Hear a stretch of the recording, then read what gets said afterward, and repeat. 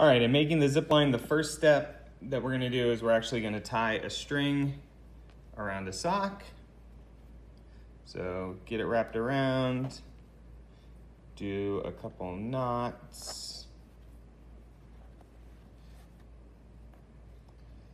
Doesn't have to be anything crazy, just um, enough that the string's not gonna go anywhere after we've tied the string around the sock, what we're gonna do is we're gonna hang it on the other side of the door. And then when I close the door and I pull on the string, I now have tension. And we haven't taped it, we haven't tied it to anything. And when I'm ready to take it down, I just need to open my door and there's my sock. So around the door, close it, and then pull it tight. All right, so the next task is you're gonna need to secure the end of the zip line to furniture or something on the other end. I like using a chair because a chair you can pull and twist how you need. So what I do is I've got a little bit of tension on it. Some of the string is still touching the ground. I'm gonna wrap it and all I'm gonna do, we're not gonna tie any knots. We don't need any knots.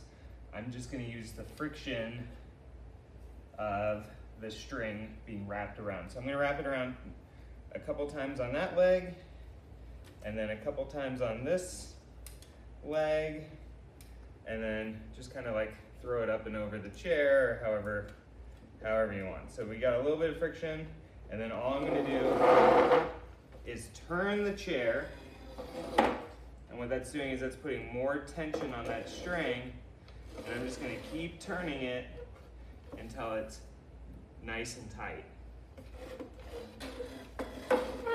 And it, a chair has a little give too, so what, what you wanna do is pull it tight and let it settle, and then that should be a good enough tension. So I've got my zip line set up. It's going all the way down from the door to the chair, but you'll notice that my zip line's not moving. And I did everything right. I, I took it, I put it right there on the line. Everything's everything's good. It's not really catching because it it will sort of go, but it's not going well. And so there's two things that it could be. One, it could need more weight or the overall angle of my string isn't steep enough. So let's try both solutions. All right, I've added more weight to the bottom of my zip line. So then I set it so it's on the string and I let go. And look at that, it's going much better. Okay, so my chair was over there and I moved it here. And what that did is instead of it kind of coming this way, now it's a steeper angle coming down. So let's see if that solved our problem. And that was much faster.